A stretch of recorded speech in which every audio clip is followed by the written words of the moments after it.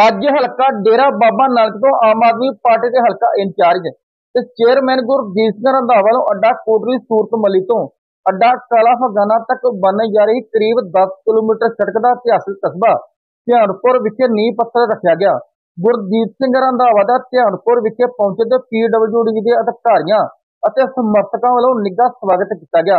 ਇਸ ਮੌਕੇ ਗੁਰਦੀਪ ਸਿੰਘ ਰੰਧਾਵਾ ਨੇ ਪੱਤਰਕਾਰਾਂ ਨੂੰ ਜਾਣਕਾਰੀ ਦਿੰਦੇ ਹੋਏ ਦੱਸਿਆ ਕਿ ਪਿਛਲੇ ਕਈ ਦਹਾਕਿਆਂ ਤੋਂ ਅੱਡਾ ਕੋਟਲੀ ਸੂਰਤ ਮੱਲੀ ਤੋਂ ਸਿਆਸਤ ਕਸਬਾ ਧਿਆਨਪੁਰ ਨੂੰ ਆਉਂਦੀ ਸੜਕ ਦੀ ਹਾਲਤ ਇੰਨੀ ਮਾੜੀ ਸੀ ਕਿ ਜੋ ਸ਼ਰਧਾਲੂ ਮੰਦਰ ਸ੍ਰੀ ਬਾਬਾ ਲਾਲ ਵਿਖੇ ਮੱਥਾ ਟੇਕਣ ਆਉਂਦੇ ਸਨ, ਉਹਨੂੰ ਭਾਰੀਆਂ ਪਰੇਸ਼ਾਨੀਆਂ ਦਾ ਸਾਹਮਣਾ ਕਰਨਾ ਪੈਂਦਾ ਸੀ।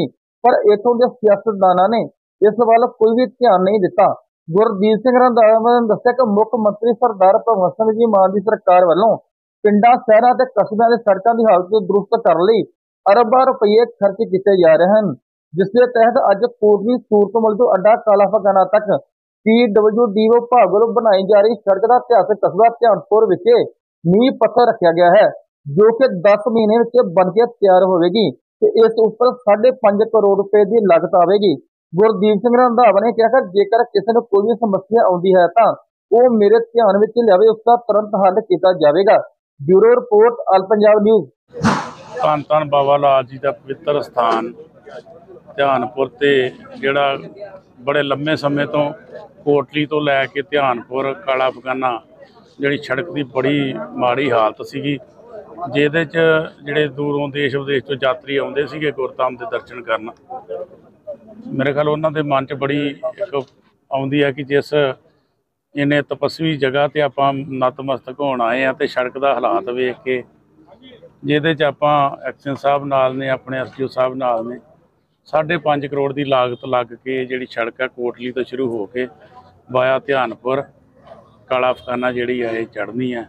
ਬਹੁਤ ਵਧੀਆ ਤਰੀਕੇ ਨਾਲ ਜਿਹੜੀ ਇਹ ਸੜਕ ਜਿਹੜੀ ਹੈ ਬਣ ਜਾ ਰਹੀ ਹੈ। ਇਹ ਸੜਕ ਜਿਹੜੀ ਹੈ ਬਾਬਾ ਲਾਲ ਜੀ ਧਿਆਨਪੁਰ ਜੀ ਨੂੰ ਮਹਾਰਾਜ ਸਾਹਿਬ ਨੂੰ ਸਮਰਪਿਤ ਹੈ। ਰੰਧਾਵਾ ਸਾਹਿਬ ਕੱਲ ਇੱਕ ਬੱਤੀ ਦੀ ਸਮੱਸਿਆ ਨੂੰ ਲੈ ਕੇ ਧਿਆਨਪੁਰ ਵਾਸੀ ਨੇ ਧਰਨਾ ਪ੍ਰਦਰਸ਼ਨ ਕੀਤਾ ਸੀ। ਉਹਦੇ ਸਾਰਾ ਕੁਝ ਨਾ ਕੁਝ ਕੀਤਾ ਜਾਣਾ ਚਾਹੀਦਾ ਜੀ। ਕਿ ਮੈਨੂੰ ਤਾਂ ਇਹ ਗੱਲ ਦੀ ਪ੍ਰ- ਪਤਾ ਹੀ ਨਹੀਂਗਾ ਕਿ ਕੋਈ ਧਰਨਾ। ਮੈਨੂੰ ਤਾਂ ਕਦੇ ਵੀ ਨਹੀਂ ਪ੍ਰੋਬਲਮ ਆਈ ਕਿ ਲਾਈਟ ਨੂੰ ਲੈ ਕੇ ਕਿ ਕਿਤੇ ਕੋਈ ਪ੍ਰੋਬਲਮ ਆਈ ਆ। ਮੈਨੂੰ ਤਾਂ ਜਿਹੜਾ ਵੀ ਮਿਲਦਾ ਰਿਹਾ ਉਹ ਕਹਿੰਦਾ ਜੀ ਰਾਤ ਰਾਤ ਨੂੰ ਆਪਾਂ ਆਪਣੇ ਟਿਊਬਲ ਵੀ ਬੰਦ ਕਰਕੇ ਆਉਨੇ ਆ ਤੇ ਮੈਨੂੰ ਜੇ ਮੇਰੇ ਨੋਟਿਸ ਐ ਜੀ ਕੋਈ ਗੱਲ ਨਹੀਂ ਕਿ ਮੈਂ ਹੁਣ ਆਇਆ ਧਿਆਨਪੁਰ ਚ ਕੋਈ ਐ- ਕੋਈ ਐਸੇ ਕੋਈ ਪ੍ਰੋਬਲਮ ਹੈਗੀ ਆ ਤਾਂ ਹੁਣ ਧਿਆਨਪੁਰ ਵਾਲੇ ਮੈਨੂੰ ਮਿਲ ਸਕਦੇ ਮੈਨੂੰ ਦੱਸ ਸਕਦੇ ਨੇ? ਆਪਣਾ ਜੀ ਬਟਾਲਾ ਜਿਹੜੀ ਡੇਰਾ ਬਾਬਾ ਨਾਨਕ ਕੋਟਲੀ ਅੱਡੇ ਤੋਂ ਸਟਾਰਟ ਹੋ ਕੇ ਇੱਥੇ ਬਾਬਾ ਲਾਲ ਜੀ ਦੇ ਧਿਆਨਪੁਰ ਜਿਹੜਾ ਧਾਰਮਿਕ ਸਥਾਨ ਇੱਥੋਂ ਹੁੰਦੇ ਹੋਏ ਇਹ ਕਾਲੇ ਖਾਨੇ ਤੱਕ ਜਾਏਗੀ ਜੀ।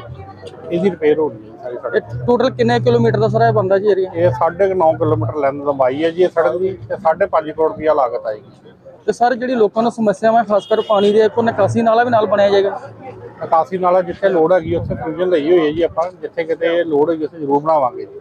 ਸਰ ਇੱਕ ਨੈਸ਼ਨਲ ਹਾਈਵੇ ਵੱਲੋਂ ਜਿਹੜੀ ਸੜਕ ਜਿਹੜੀ ਕਾਫੀ ਜਿਹੜੀ ਬਰਬਾਦ ਕੀਤੀ ਜਾ ਰਹੀ ਹੈ ਉਹਦੀ ਮੇਨਟੇਨੈਂਸ ਵਾਸਤੇ ਕੀ ਹੈ ਜੀ? ਕਿਉਂਕਿ ਨੈਸ਼ਨਲ ਹਾਈਵੇ ਵੱਲੋਂ ਜਿਹੜੀ ਕਰ ਰਹੇ ਜੀ ਉਹਨਾਂ ਦੇ ਮੇਨਟੇਨੈਂਸ ਪੀਰੀਅਡ ਉਹਨਾਂ ਦੇ ਆਪਣੇ ਉਹਦੇ ਵਿੱਚ ਹੀ ਹੁੰਦਾ ਜੀ। ਉਹਦਾ ਮਤਲਬ ਸਾਡੇ ਸਟੇਟ ਨਾਲ ਨਹੀਂ ਉਹਨਾਂ ਨੂੰ ਆਪ- ਆਪਣੇ ਲੋਕ ਕੀਤਾ ਜਾਣਾ। ਬਾਕੀ ਜਿਹੜੇ ਨੈਸ਼ਨਲ ਹਾਈਵੇ ਵੱਲੋਂ ਜਿਹੜੀ ਡੇਰਾ ਰੋਡ ਬਣਾਈ ਜਾ ਰਹੀ ਹੈ ਉਹਦੇ ਜਿਹੜੇ ਲੈਫਟ ਔਰ ਪੋਰਸ਼ਨ ਰਹਿ ਗਏ ਨੇ ਉਹਦੀ ਹੁਣ ਉਹਨੇ ਸਰ ਗੁਰਦੀਪ ਰੰਧਾਵਾ ਜੀ ਨਾਲ ਤੁਹਾਡੇ ਤੋਂ ਪਹਿਲੇ ਗੱਲ ਹੋ ਗਈ ਸੀ ਜੀ। ਉਹ ਕੋਸ਼ਿਸ਼ ਕਰ ਰਹੇ ਕਿ ਉਹਨਾਂ ਨੂੰ ਵੀ ਆਪਾਂ ਇਸ ਸਕੀਮ 'ਚ ਲਿਆ ਕੇ ਜਲਦੀ ਹੀ ਅਪਰੂਵਲ ਲੈ ਲਈ ਜਾਏ ਉਹਨਾਂ ਨੂੰ ਵੀ ਮੁਕ- ਮੁਰੰਮਤ ਕਰਵਾ ਦਿੱਤਾ ਜਾਏਗਾ ਜੀ।